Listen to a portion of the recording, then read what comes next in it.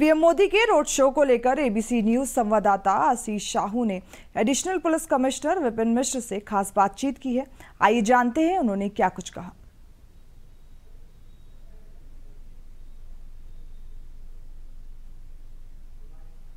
देश के प्रधानमंत्री नरेंद्र मोदी का चार तारीख को कानपुर में आगमन है और रोड शो करेंगे और दो लोकसभा सीटों के लिए प्रचार भी करेंगे। हमारे साथ में एडिशनल सीपी कानपुर की बात करने के लिए विपिन मिश्रा जी सर, किस तरीके से कानपुर में प्रधानमंत्री नरेंद्र मोदी देखते हुए तैयारियाँ की गई?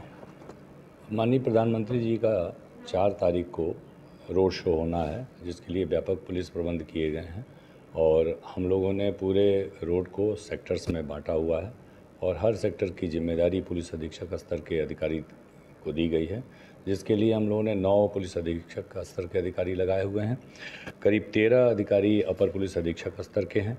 अट्ठाईस जो है वह डिप्टी एसपी स्तर के अधिकारी लगाए गए हैं।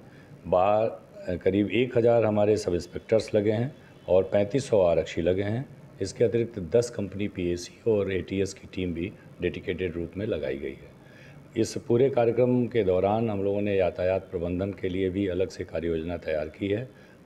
कार्यक्रम में आने वाले जितने भी विभिन्न जनपदों की कारें हैं, बसें हैं, उनके अलग अलग स्थानों पर पार्किंग की व्यवस्था भी कराई गई है, जिससे आम जनमानस को भी कोई दिक्कत ना हो और रैली में आने वाले लोगों को भी कोई दिक्कत ना हो।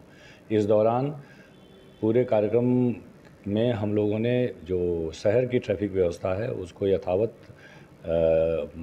जनता को दिक्कत ना हो, इसका भरपूर प्रयास किया है, ताकि कोई भी आदमी जो है किसी कठिनाई का सामना ना करे। सर जहाँ से प्रधानमंत्री जी का रोड शो है वहाँ पर रेलवे क्रॉसिंग का क्या आपकी रेलवे अधिकारियों से कुछ बात हो पाई? जी रेलवे अधिकारियों से हम लोग लगातार संपर्क में हैं उनसे चर्चा भी हो रही है। हमारा पूरा कारकेड और फ्लीट उसमें से सही तरीके से निकल जाए और उस दौरान जो है पुल पर आवागमन हमारा बाधित ना हो इसके लिए पूरी कार्य योजना हम लोगों ने तैयार की है। सर वहाँ पे स्कूल भी पढ़ते हैं क्या स्कूलों को अवकाश के लिए बोला गया? अभी फ़िलहाल ऐसी कोई योजना नहीं है हम ये देखेंगे कि जिस समय कार्यक्रम हमारा शुरू होने वाला है, अगर स्कूल उसके दौरान उनके कॉलेज आवर्स पढ़ते हैं, तभी ये बात अमल में लाई जाएगी।